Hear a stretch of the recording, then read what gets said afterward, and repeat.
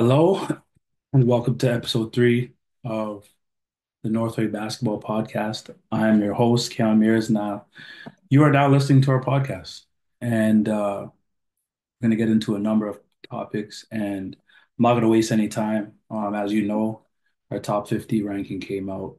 Uh, we gave a sneak peek of the top five. A lot of people were interested.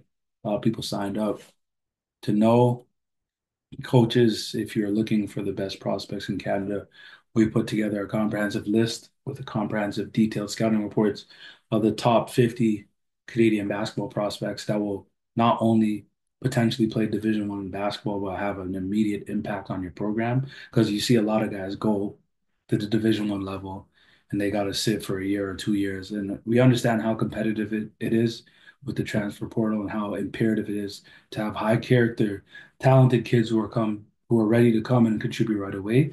So we've made a list for you to do it just exactly that. So if you haven't already, check out the northway.org and take a look at our top 50 scouting report, ranking, whatever you want to call it. So this week has been a busy week. Um, we've seen the resurgence of a high school phenom, Canadian phenom, and I'm not surprised. I said this was the best move he's made in his entire career. Um, I think a lot of times, like, you know, when you have a fish that grows outgrows its bowl, you have to send them to more challenging environments to help them continue to grow. Because sometimes staying within a comfortable environment can um, give you a false sense of, you know, what's out there. So I think Elijah Fisher going to pair with Dave Smart this season has been one of the biggest moves in basketball, and we're start in Canadian basketball, I should say, and we're starting to see it play out. Um, Dave Smart is forcing him to shoot threes. He's forcing him to develop. Um, Dave Smart is an elite Canadian coach who's won a number of U Sport championships with Carleton basketball before his time at Texas Tech, and now as the head coach of Pacific. Um, you're going to see him really turn that program around. He's uh, he's really addicted to the craft. But before I get into Elijah Fisher, I'm going to tell you about Dave Smart and exactly why I love this pairing.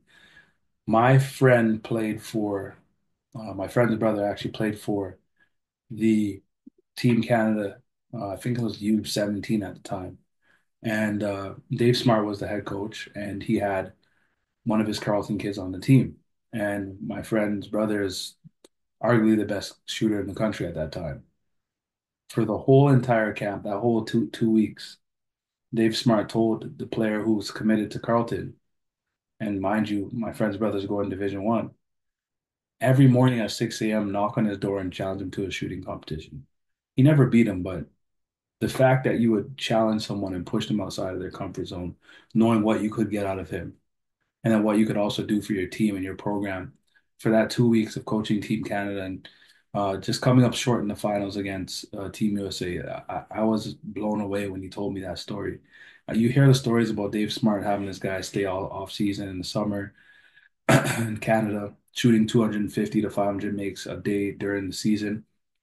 Guys like Philip Scrubb, Thomas Scrubb. Um, it's no wonder, you know, that you, you see Carleton have that success. And I do I think it's applicable to the States? Yes, I do. So now to see that Elijah Fisher has significantly improved his footwork in the paint, developing a number of finishes, being able to shoot it with confidence off the catch, off the bounce, in the mid range, off the from three on the move. Um, it's amazing to see because now this opens up a number of possibilities. Um, a lot of time it's just about changing environment and who's on your team. And Dave Smart is definitely going to always hold guys accountable. So I think that's the best move him and his team made, and kudos to those guys. And I think it's fair to say, start having that conversation again. Like, will he be an NBA prospect again? Because we saw what he did against Arkansas. Yes, he's in his third year, but his game will transfer to the next level potentially. Not as a main guy, but I think as a role guy who can knock down threes, get on in transition, defend, and and learn to be a high level contributing professional basketball player. Mm-hmm. And there's nothing wrong with that. Not everyone is meant to be um, a go to. Maybe he will be. I don't know. I don't know the future. However, I think he's at a point now in a trajectory where if he continues to develop, the NBA is definitely a real possibility in the future again, right? Um, moving on, uh, let's talk about Miles Sadler. I've been telling you guys about Miles Sadler. I've been trying to preach to these coaches that he is a high major prospect, right? He's proved it by leading uh, CIA Bella Vista Prep against Prolific Prep and winning that game by four. He had 19 points and seven assists. Mind you, Darryn Peterson didn't play. However, he showed up. He did what he's supposed to do. And Miles Sadler is a gamer moving forward, they're out in Houston for a Thanksgiving showcase, and what do they do? They play against the Boozer Twins um, in a game they could have won. But guess who showed up again? Mr. Reliable, Miles Sadler. They ended up losing that game, but he did perform, and there are things he could have improved on as far as utilizing his mid-range game more. But he did what he was supposed to do, right? So when you see guys consistently perform against high major, high level talent, and not just perform, compete, shine, make a statement, I think it says something. So at six foot, you see him really just managing his team, making high level decisions, shooting the ball with range. Now he's forcing the defenders to guard him out further, which gives him more room to play and operate off the pick and roll. So it puts the defense at a disadvantage because now if you're in drop, you give him a head of steam. If you hard hedge, you help him potentially beat the beat the hedge or split it and and and find guys and for threes and layups and you've seen him do it all game. So Miles Sadler is a special talent. I think he's a potential NBA player and I think that high measure schools are finally starting to catch on as he took his visit to Arizona State and you see him start getting uh, offers like from Syracuse and things of that nature. It's just a great thing to see. But I think you guys really need to take him seriously. Uh, Spencer Aarons has been taking a number of vis visits also from a Bella Vista grind session.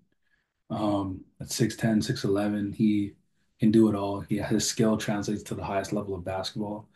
And it's just great to see, man. Um, Jordan Charles, who doesn't get mentioned enough, sometimes overshadowed by Miles, but he is really taking his game to another level. He also showed out in that Houston um, tournament. Uh, he also had a great summer for Team Canada. And it's just amazing to see what they have going on over there at Arizona, in Arizona. And I think schools should definitely pay more attention to them. And now let's go to Liam.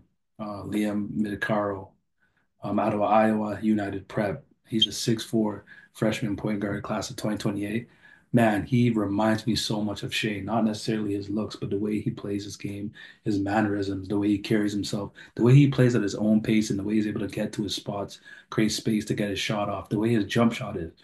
He really reminds me of Shai. He's six four as a freshman. He plays with great pace. He plays like a pro. He can decision make. He can handle pressure. He can handle handle contact. A lot of kids get bumped off the ball. They can't really handle and create angles for themselves under pressure. But he's doing it at such a young age.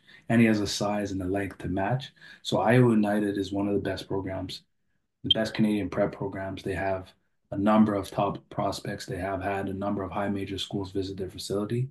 And they have NBA prospects as well. Um, and they're big in Arifan, Dion. I'm sorry, I don't even know how his name, but he is a center for them and he's definitely getting NBA attention. So if you haven't already, get in with Liam Midakaro. He's he's been garnering a lot of interest from mid to high major schools, and Oregon is just one of them. So if I were you guys, I would definitely take a look at Liam Midakaro, who's from Alberta, Ontario, and he's playing up for Iowa United's national team and their their their junior team. So uh, this past weekend, I went to day two of the Holden Prep Classic. There were some guys I want to see who I haven't seen before. Um, and before I even get into this, let's just talk about how I look at scouting, how I look at recruiting, how I look at top 50, uh, how we did uh, created our top 50. I think how your skill set translates to the highest level of basketball is very important because not necessarily that you're talented enough to play at that level, but the way your game is constructed, it translates to that level, which means a lot of the time you can play in Division One, Division Two basketball, right? So if you have a point guard who can run pick and rolls, who can defend pick and rolls, who can shoot the ball at a high clip and decision make, he's a high level player, right? He can play low, mid, low to mid D1, depending on his size, athleticism, and other variables, right? So for us over here, you know, I've spent time with a number of NBA scouts and GM and coaches. I've played against a lot of NBA players in the high school and, then some I spent some time in college playing against them as well. You know, growing up where I grew up and just playing in the States as well. Um, I think it's helped me understand what a high level player looks like and and and given me an understanding of how to uh, grade, I guess, and look at talent given, you know, the privileges I've had meeting with NBA professionals and then also playing. Um, so without further ado, I'm going to get into some guys I saw at the Holden Prep Classic who really impressed me. Um, Owen Frayne, who is a fifth year PG from Lincoln Prep, who had a great game against Code prep. Um, he handled himself really well under pressure. There was a lot of, it was a really scrappy game. Uh, the, the defense was really physical. They were talking a lot, trying to get in his head, but he stayed poised. He made great decisions. He shot the ball with range consistently. This is what you're looking for at the next level. He did, made a a, a great decisions out of the pick and roll. Um, he even found guys on the backside for alley oops, found guys in the corner for threes. He was hitting guys in the pocket. Uh, he was finishing at the rim, looking off his defenders. He is someone who is definitely a Division One potential talent, and I think schools, if you value shooting and decision making, then you should definitely recruit Owen Frayne. Um, I was really impressed by the fifth year senior. Um, also, Fernando de los Santos, who plays for St. Jude's Academy. Um, he's a six-four senior point guard, fifth year point guard, class of 2025. He recently played this summer for the Dominican national team, where we saw him have some good games, some big games, and he's really improved his ability to shoot the ball, um, shooting it with with uh, consistency off the catch, getting into the mid range, or whether it's attacking the baseline and fading, um, or just getting to the spots in the mid range.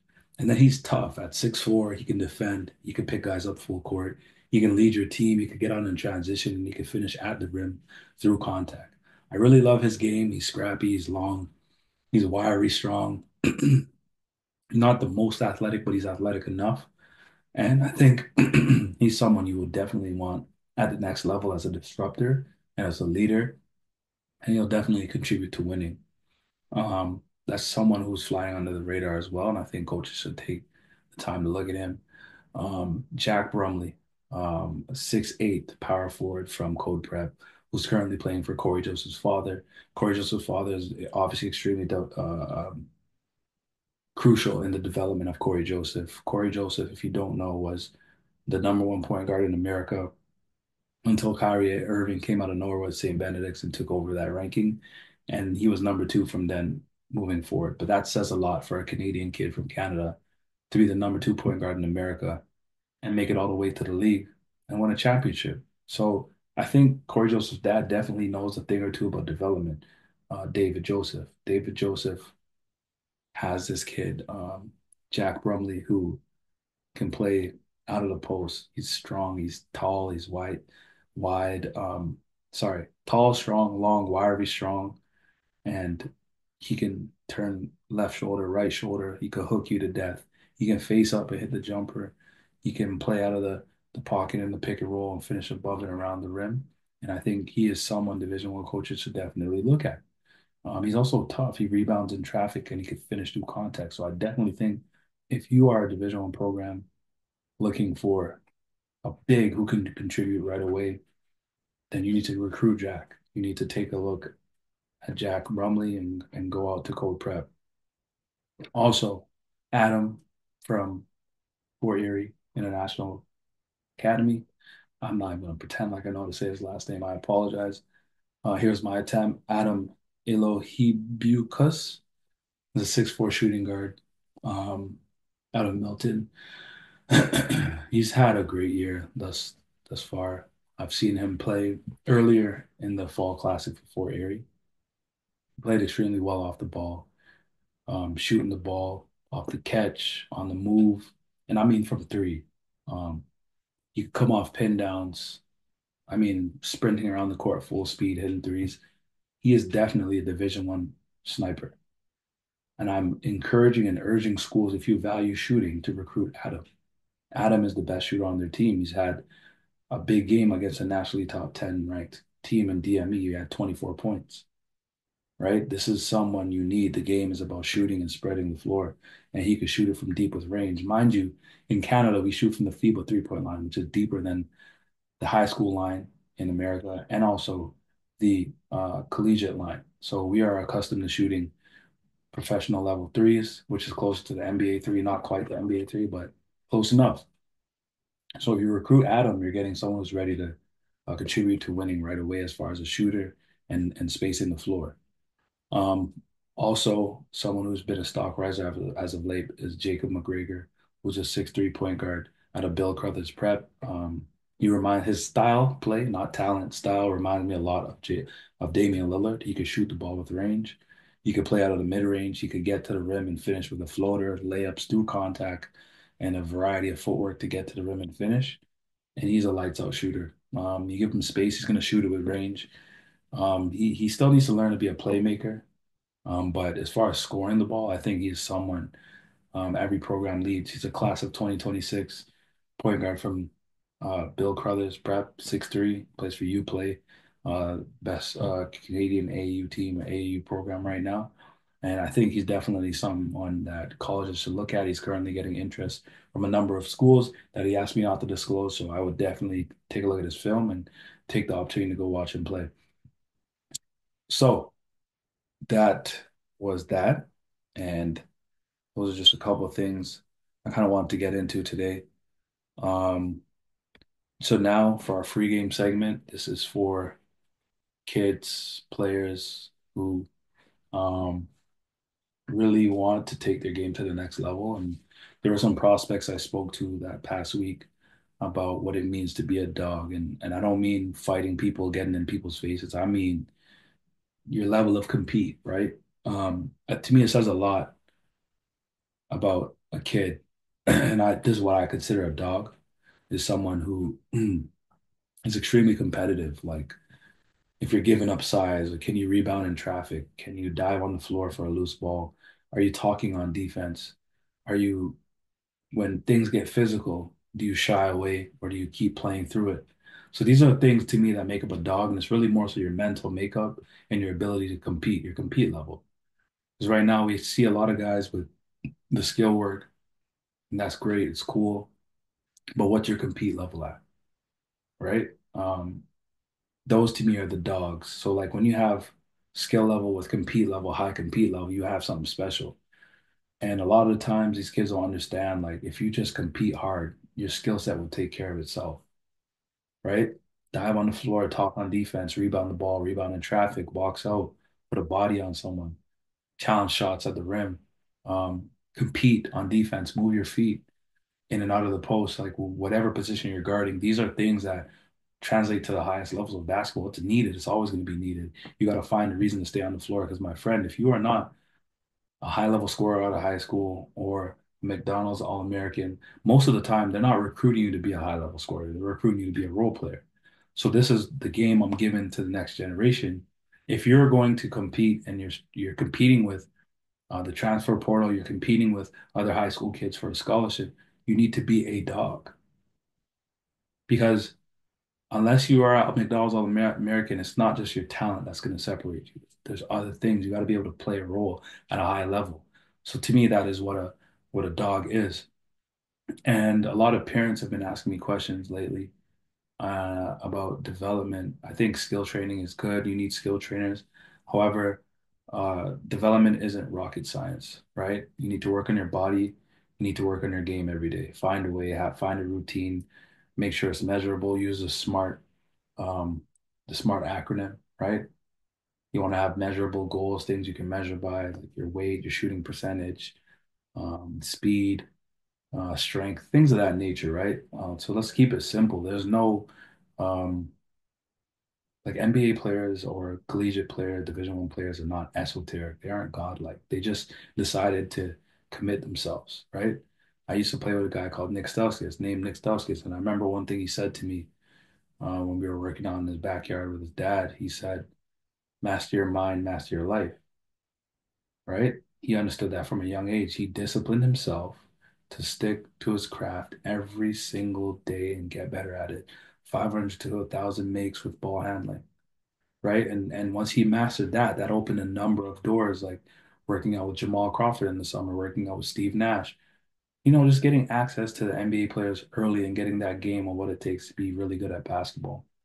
So these are the things that people don't know, right? It's really simple. It's not rocket science. So you don't have to have a billion dollars to get better. It doesn't take that much. NBA games come on free on TV. College games are free on TV. You can always watch and study the game. You don't need synergy. You don't need a subscription. It's free. It's, there's YouTube, right? So there's so many ways to get better now where there's really no excuse. So I just want to thank everyone for listening to episode three of the Northway Basketball Podcast. Coaches, if you would like, and if you haven't, please subscribe to our newsletter. Please send us a DM. Please check out the northway.org. Contact us there. Any parents who need help, any kids who need help, feel free to shoot us a message. Message me at Kayon Mayers on Instagram, Twitter, and then you could look, find us on Instagram at the Northway and Twitter at the Northway. And lastly, again, check out the northway.org. Coaches, our top 50 ranking is there. Our scouting service is on sale. If you need a free trial, please feel free to reach out to me and we'll take care of you. That is the end of today's episode three. We just want to thank you for listening. Peace. Have a great week.